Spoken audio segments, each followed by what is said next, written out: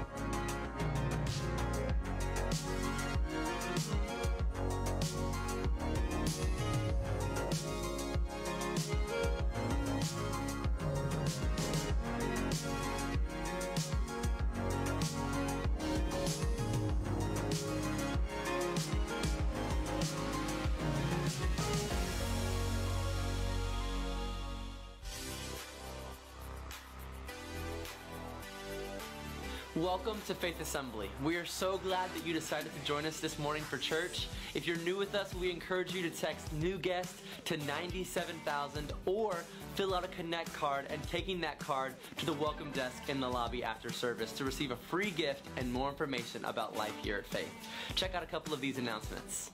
Our growth group starts on August the 29th and it runs September 5th and September 12th. Three weeks doing a book by Johnny Parker, 10X Better Man. The Faith Men will be leading this growth group.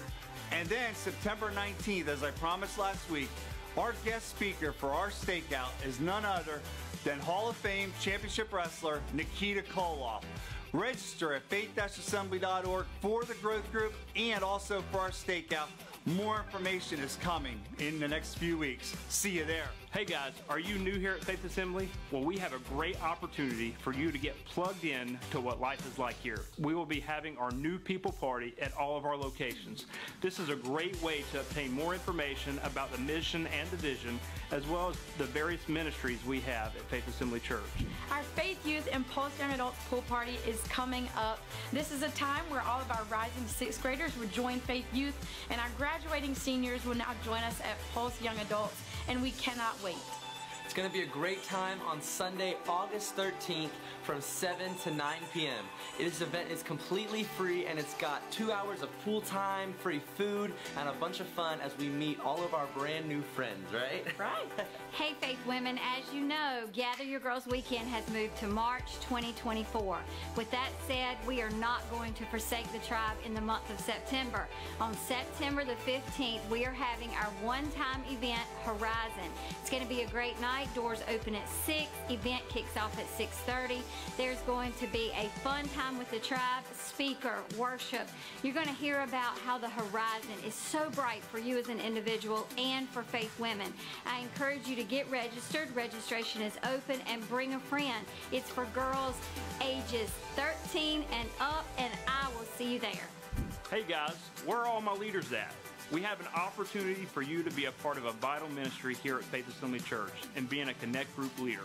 All current and potential Connect Group leaders will be meeting on August 20th following our second service in our Next Gen Sanctuary. A meal and childcare will be provided as we discuss the mission and vision of Connect Groups for the upcoming year. To sign up, please visit faith-assembly.org slash events. Hey everybody, we are so excited to invite you to our next Unite Prayer and Worship Emphasis Night. It's happening on August 9th at all our locations. Bring your family and we hope to see you there.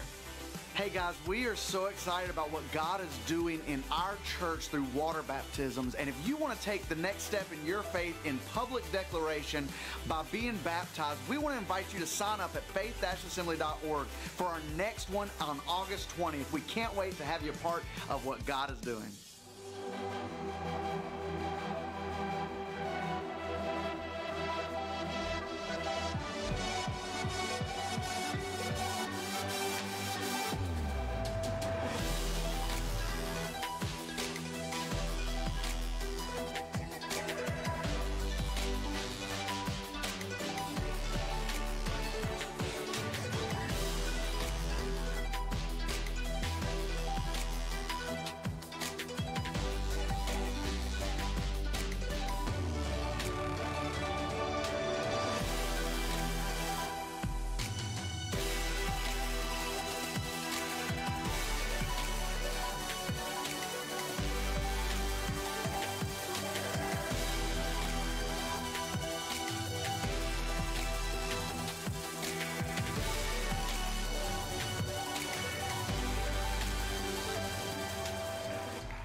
Good morning, Faith Assembly Church. It is good to be in the house of the Lord this morning. Amen.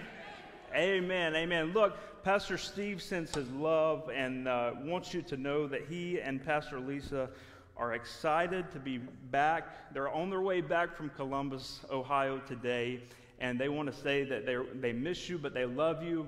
And uh, I want you to be encouraged this morning, and I want you to take the opportunity, if you have not, to join us this Wednesday night. Make plans for this Wednesday night for our Unite Prayer and Worship Night.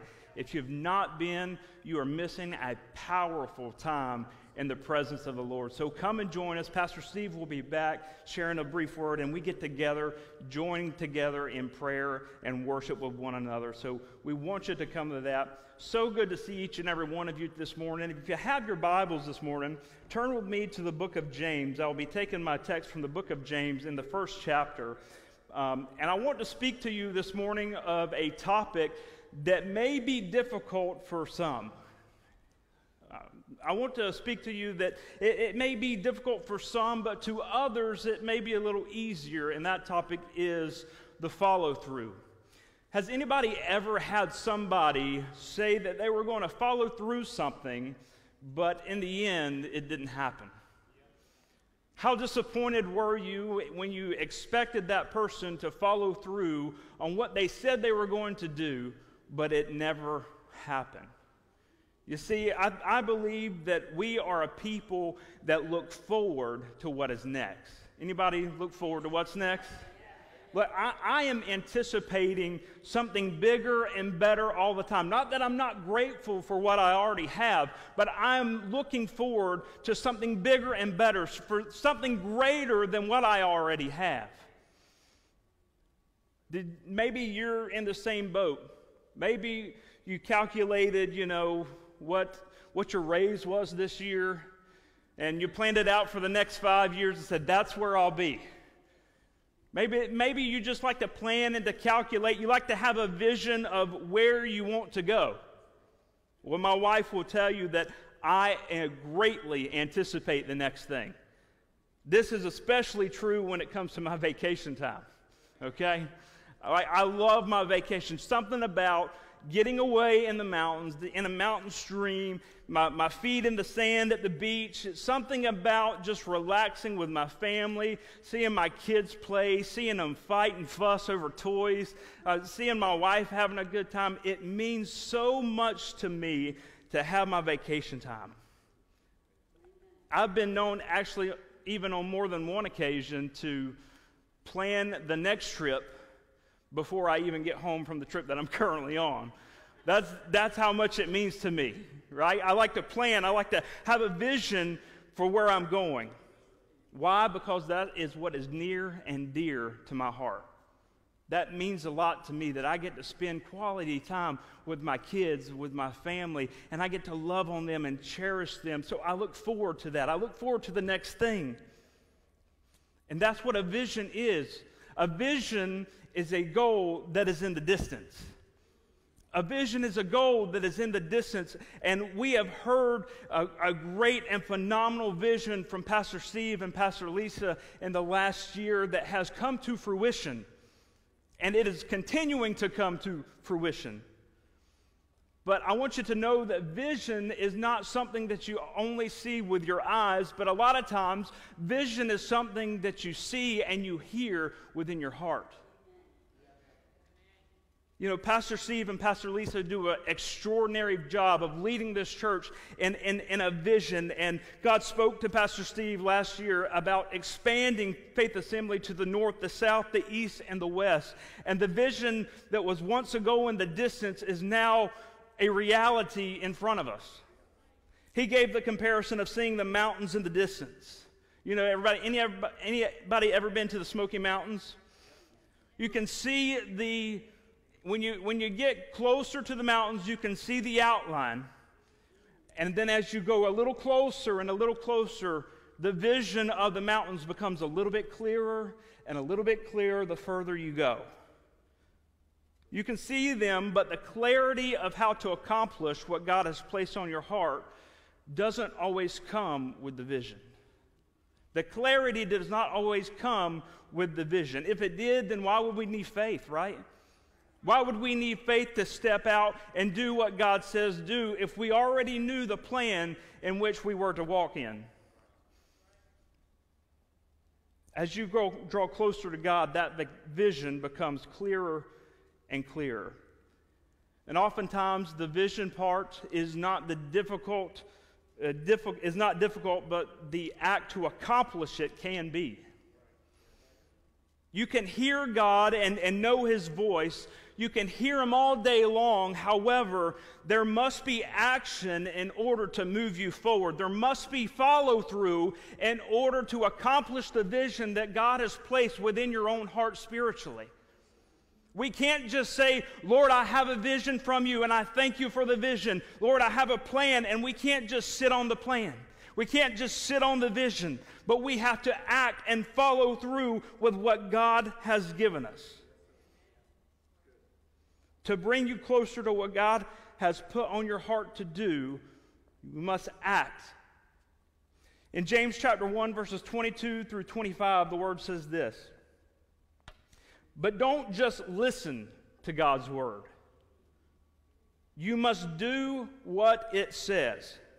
Otherwise, you are only fooling yourselves, for if you listen to the word and don't obey it, it is like glancing at your face in a mirror. You see yourself, you walk away, and forget what you look like. But if you look carefully into the perfect law that sets you free, and if you do what it says and don't forget what you heard, then God will bless you for doing it. You see, church, it is not enough just to act the part. It is not enough just to hear the vision. It is not enough just to hear the plan and, and write down the plan, but we must take action. We have to live it out day by day in faith. People know when you're genuine, right? And people can call out a fraud in a minute. But more importantly, God knows when you are genuine, and God knows when you are a fraud, and that is really the only thing that matters. And when we move in our, our plan of our vision, we don't move just to move. We don't move just because. There must be a destination and there must be a purpose for our movement, or we will come to a screeching halt. If there is no purpose, if there is no drive, if there is no ambition behind the vision, you will not accomplish anything. If there is no purpose, no driver ambition behind the, mission, the, the vision, you will not accomplish anything. I was reminded of a story of a, the drowning man. Maybe you've heard of it before, maybe you haven't. And it goes something like this that there was a hurricane that came by, and a man got stranded on the rooftop. And a rowboat comes by, and he says, Jump in, man, I can save you. He said, No thanks, I have faith. I've already asked God, that, and He's going to save me, but thank you. He rows on, and then a motorboat comes by, and he says, Jump in, man, I can save you. He said, I really appreciate it, but I have faith that God is going to save me. Scratching his head, he drives away. The waters are constantly rising, even a little higher, and now you can barely see the rooftop. Finally, a helicopter comes by, lowers down a basket, and he says, Jump in, man, I can save you. He said, I really appreciate it, but I know I have faith that God is going to save me. Well, the waters continue to rise, and eventually the man drowns. And he gets to heaven and he asks the Lord, He said, Lord, I had faith in you that you were going to save me, and you let me down. And to which God replied, I sent you a rowboat, a motorboat, and a helicopter. What more did you expect? I realize the story may be a little exaggerated this morning, but, but maybe it's not. Maybe God has been speaking to you very directly, but you have yet to move in your specific situation. Sometimes we can, only, we can be obedient only to the point that our obedience serves our own interests. Sometimes we can only be, sometimes we're obedient only to the point that it serves our own interests. You know, and our obedience should not be conditional on our circumstances. The Bible says that obedience is greater than sacrifice. It, it, is, it is a great and valuable thing to be obedient. But I want to tell you this morning that you will sometimes have to sacrifice through your obedience. Abraham, when he went up to the mountain to sacrifice his own son, the Bible called him his only son because Ishmael had been taken away, been sent away. He gave his only son as a sacrifice to God because he was obedient. When Hannah took Samuel to the temple for God's service, it must have been a sacrifice three or four year old little boy. I can't imagine dropping my little girl off at the temple because I promised you three years ago if you gave me this child, God, I would give him back to you. I can't imagine letting that part of me go. But it was a sacrifice, but she was obedient in her sacrifice so Samuel could fulfill the work of the Lord. Jesus the most obedient of all, was obedient to the Father through the sacrifice of himself for us on the cross for our sin. All of these examples, they followed through obedience because of the vision that was before them. The greater the vision, the greater the follow through. The greater the vision, the greater the follow through. The greater the vision, the greater the plan, the greater the execution. The greater normally the faith it takes. We must follow through to the vision and the plan that God has set before us in our heart. Many people talk about an exuberant vision, and many have a fantastic plan. But when we really take a step and look back, how many of us have great execution? There's an old saying that goes, when everything is said and done, there's a whole lot more said than gets done. But I want to be able to follow through with what God has given me as a vision and as a plan. I want to follow through with the things that I have planned. When, when you follow through with your plan, you execute the vision that was once just a thought. You execute the vision that was once a, a thought, and you make a dream a reality. You may think, well, that sounds a little more motivational than spiritual. Well, listen to what Acts 2 and 17 says. It says, In the last days, says God, that I will pour out my spirit upon all flesh. Your son and your daughter shall pros- prophesy. Your young men shall see visions, your old men shall dream dreams. Now, I believe that Faith Assembly Church has young men that see visions, and I believe that we have older men that dream dreams, and all we have to do is execute the vision that God has already put in front of us. We already have, we only have, only thing we have to do is take what God already says we have. Take action. We must follow through on God's promises. I'm reminded of when the Israelites were at the brink of going into Canaan, into the promised land. And, and he sent out 12 spies to go and view the land, and 12 of them went out for 40 days, and they all came back. And Joshua and Caleb were the only two that gave a good report and said, God said we could take the land, and we are going to take the land. But the 10, the majority said we can't do it. We can't do it. There's giants out there, there's enemies on every side. The, the, the, the, the field is bountiful and it's beautiful, but we will surely get massacred if we try to take the land. But Joshua and Caleb stood fast on what God promised them, and that was to go and possess the land. And we must go and possess the land but with our gifts, with our talents, with the anointing that God has blessed you with. You must follow through with the promises of God on your life today. It's time for us to take action we have come to a day and a time where we are just okay with settling. We are okay with just getting by. And why is that? Because we are a people that like comfort. We like to be in a comfortable position, a comfortable place. We don't like to be uncomfortable. If I can just turn on Netflix when I get home and be comfortable, I'll be all right. But God is calling us to do more than that. You know, spiritually, when you get comfortable, it's a dangerous place to be. It is a very dangerous place to be when you get comfortable spiritually, when you become stagnant, when you're not moving. When we hear stagnant, we think of stagnant water, right? Water that does not move, water that does not have a continuous flow. But with no movement and aeration, stagnant water can become a prime breeding ground for bacteria. And left untreated, that stagnant water often becomes home for dangerous diseases and pathogens. And I'm scared that if we do the same thing within our spiritual walk, that our hearts will become cold and we will start to grow a bacteria and a fungus that if it left unchecked, it will overtake us all for the sake of comfort.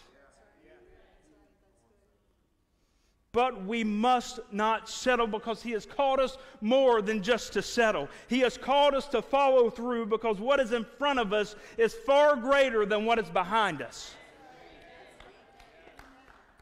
And if we could see the promise, if we could if I could see where I was then compared to where I am now, I would have never doubted God in the first place if I could see the provisions and the blessings of God, if He would only have showed me that back then, but then I wouldn't have grown in my faith. I had to take action and follow through in order to grow in that faith. Yes, it is going to take work. Yes, it is going to take dedication. It will even take patience, but we cannot settle because the promised land, Canaan, is right on the other side. Now, Pastor Steve said a couple weeks ago, and I'm going to reiterate what he said, and I, because I know it's true, that everybody likes to wait. Everybody likes to wait, right? But we cannot settle in our patience. If God is telling you to do something, then follow through with what God is telling you to do. My wife and I were in a place in our life several years ago when we were asking God to move in a specific situation in our life. And when we look back on it, we actually realized it was God saying it was our turn. Now, let me just, as a disclaimer, real quick, please don't take this example that I'm giving you and say, well, Pastor Jarred said move, so we did, and not be back next Sunday at Faith Assembly Church, okay? Because we love you and we want you here. We're not telling you to move there, but spiritually, we prayed like the man on the roof. God, move in our situation. God, move in our situation. We wanted God to move so much in our situation, it was crazy. Anybody ever put a timeline up on, on, God? Not really on God, but like put a timeline out there. Say, all right, God, if you don't move by this time, then I'll know. And then we kind of extend it a little bit. Okay, God, if you don't move by this time, then we'll really know. We look back and we realize that God was telling us it was our turn to move it was our time to follow through with what we really already knew in our heart. You know, sometimes it is difficult to leave something that is comfortable and something that you are used to. For some of us, it's difficult to leave our bed in the morning. That's comfortable, that's something we're used to. You know, it doesn't take much faith to stay in the boat. But it takes a whole lot of faith to step out of the boat, especially when you don't know how deep the water is. So, where does God want us spiritually? I know He doesn't want us just writing down the vision and writing down the plan, but He wants us to execute what He has given us in our hearts. He doesn't just want you thinking about it, He doesn't want you just planning it. He wants you to execute it. Whenever we begin to execute a vision, our faith grows.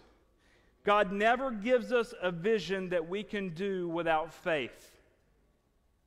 God never gives us a vision that we can do without faith. It may be scary at times. Oh, it, it, it may be torment at times. You may not know how it's all going to work out, and you may not know how it's all going to fall into place, but as long as you hold the hand of the Master, it will be okay.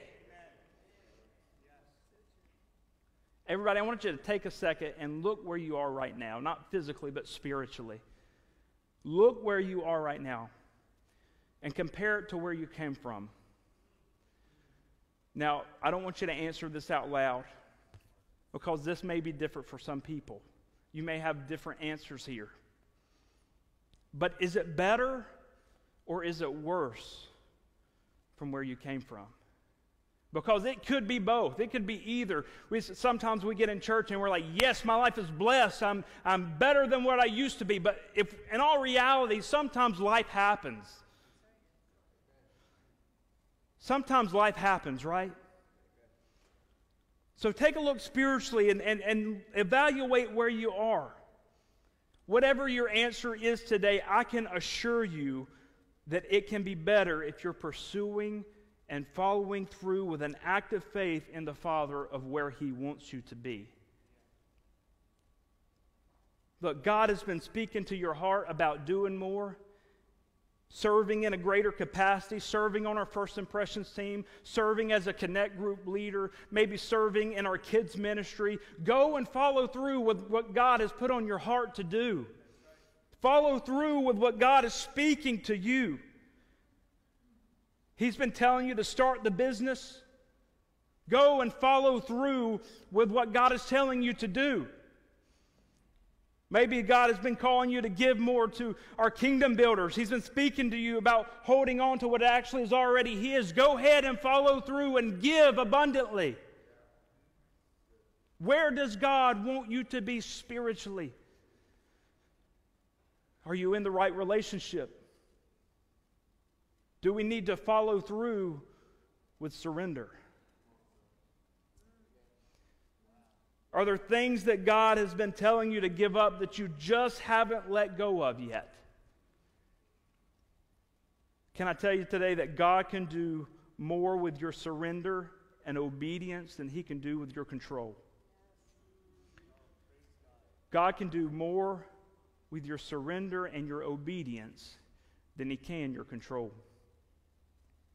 But sometimes it takes action. Sometimes it takes obedience. Sometimes it takes follow through to see the blessings and the fruition of God come forth in your life. You say, well, that doesn't that, prove it. Okay.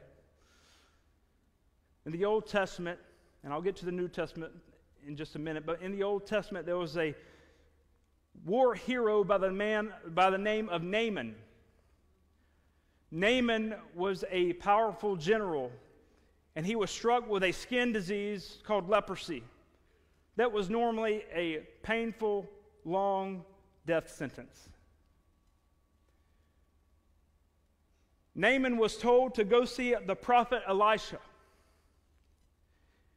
And a big general in the army comes to Elisha, and Elisha sends out his assistant to greet him.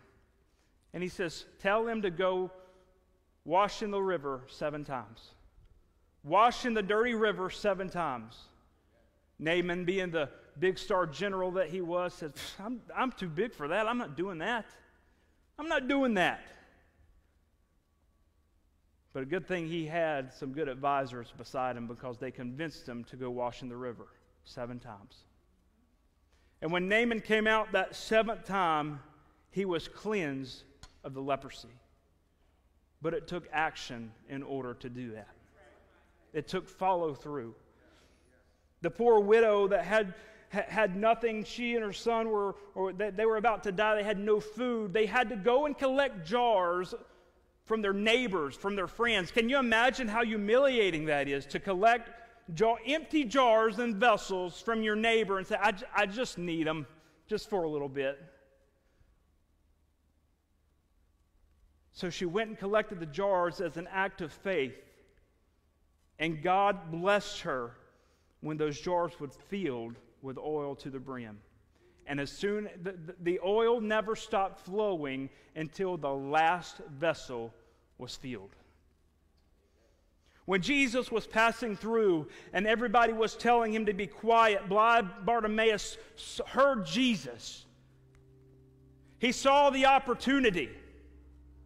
He saw, he saw the vision, though not with his eyes, it was with his heart. He heard Jesus coming by, and then he had to make a decision what he was going to do. Was he going to listen to the naysayers that said, Be quiet, he's busy? No, the master is coming by. I'm going to execute the plan. Jesus, thou son of David, have mercy on me.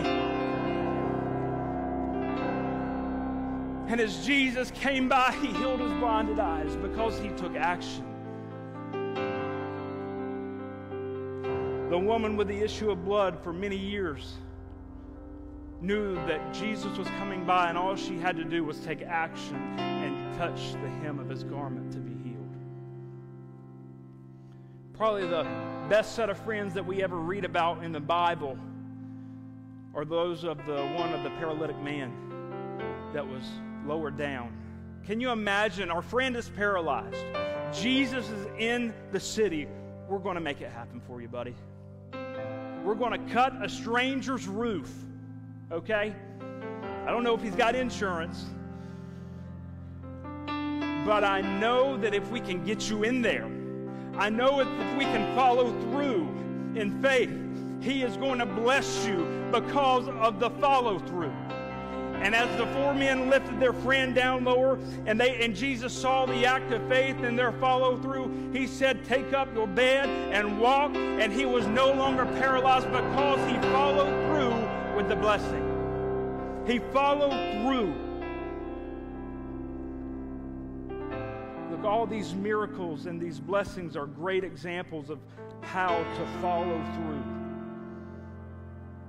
But the greatest miracle is that which is available to us all. The greatest follow through we could ever participate in is the miracle of being able to know God personally. Although we might wish to do amazing miracles for God, we should instead focus on developing a relationship with Him. When we focus on the relationship, the guidance will come. The closer we are to God, the more in tune we are to His will. The more time I spend with my wife, the more I know about her, the more I know her tendencies, the more I know when she puts that tone in her voice when I really need to get up and do what she says do. Some of you married folks know what I'm talking about.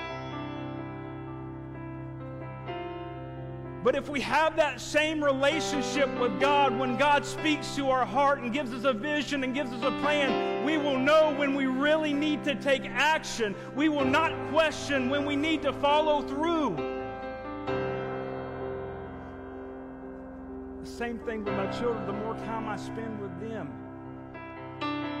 the more I know them, the more I know their tendencies, the more I know what makes them happy or sad.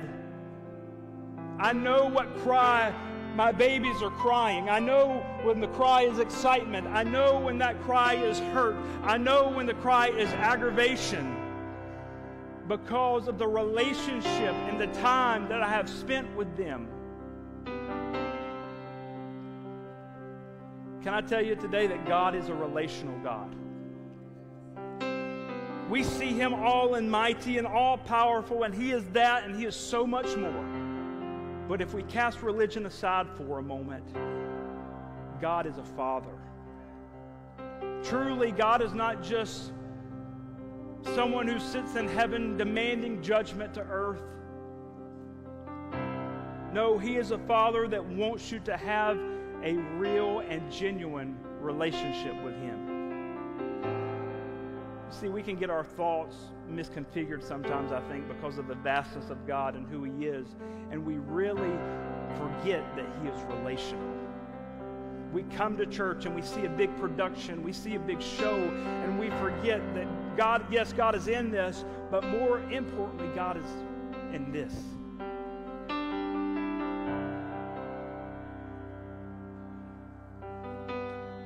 I'm reminded of when God met Elijah up on the mountain. Elijah had just defeated the prophets of Baal in a monumental showdown. He had just seen fire. He had prayed fire down from heaven. God consumed the altar. He, he cursed the prophets of Baal. He, God killed them because of his obedience. And now we see Elijah running for his life, scared because Jezebel says, I'm going to kill you. To the point where he's hiding in a cave. And in that moment, Elijah had a moment of self pity. He said, Lord, I'm the only one that's following you. Anybody ever been there? Feels like I'm the only one, God. But God met Elijah on the mountain, and God passed by, and a windstorm came. The windstorm was so strong that it tore rocks down from the mountain. Then an earthquake came, then the fire came. But God was not in those. Then after the fire, there was a gentle whisper. Some of you today have been hearing the gentle whisper, you're expecting an earthquake. You're expecting a mountain of a vision or a mountain of direction. But all along, God has been speaking to your heart in a gentle whisper. And Elijah knew, like most of us here do today, that that whisper was God's voice. God speaks more frequently in persistent whispers than he does in loud and boisterous shouts. I'm all for a good Pentecostal service. I'm all for it. I love it. it. It's rejuvenating. I can get in there and shout with the rest of them. I love it. But more frequently, God speaks to your heart when you are humbled and you're just sitting there in His presence. To look for God only in productions and church and once a year events, they're all good. I will say that they are all good, and we want you to be a part of that. But to look for God only in these things, we may miss Him because He's often found gently whispering to your humble heart. So let's step back from the noise. Let's step back from the activity of our busy life and listen humbly and quietly for His guidance. It may come when you least expect it. If everybody would stand this morning with me.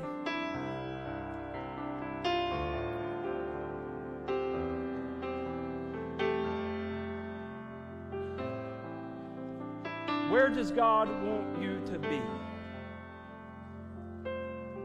I know that God wants you to follow through.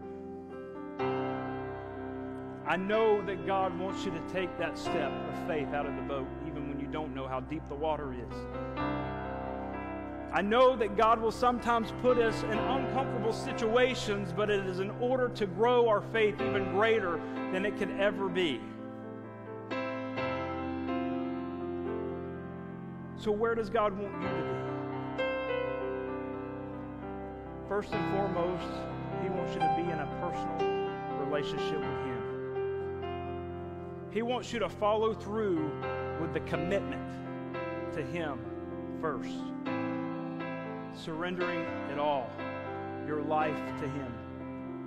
Follow through with a commitment to Jesus today. Secondly, He wants you to surrender what you've been carrying. He wants you to follow through and surrender. Many of us may be Christians here today but we're holding on to something that we should have let go a long time ago, and it's time for us to follow through in our surrender to Christ. Maybe that means giving the burdens that you've been holding on to over to Him. Maybe that means the relationship you've been holding on to needs to be let go. Maybe that even means reconciling with a family member that years ago you had a disagreement with. And it's time to follow through in that surrender. The addictions follow through in the surrender. Lastly, I believe that God wants you to follow through in an active pursuit He wants you to be in pursuit of Him, spending time with the Father, whatever that looks like to you. Is it serving at the soup kitchen? Is it fostering that child that God has put on your heart? Is it spending more time in the Word? Is it, is it serving in your local church or your community? He wants you in an active pursuit of Him. In just a moment, our worship team will begin to sing. And if that's any three things this morning that you can say, I align with that.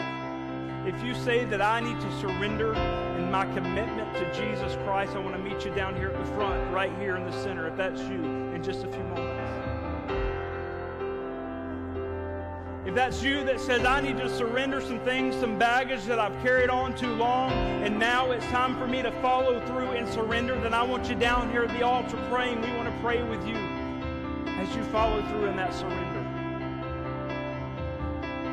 Lastly, if you need to follow through in that active, active pursuit of God, I want you to come down and find a place and follow through in that active pursuit of Him today. If that's you, any of th- three of those things this morning, as our praise team begins to worship, would you come so we can pray with you today? Would you come if that's you this morning? We want to thank you for joining us this morning for Faith Assembly Online.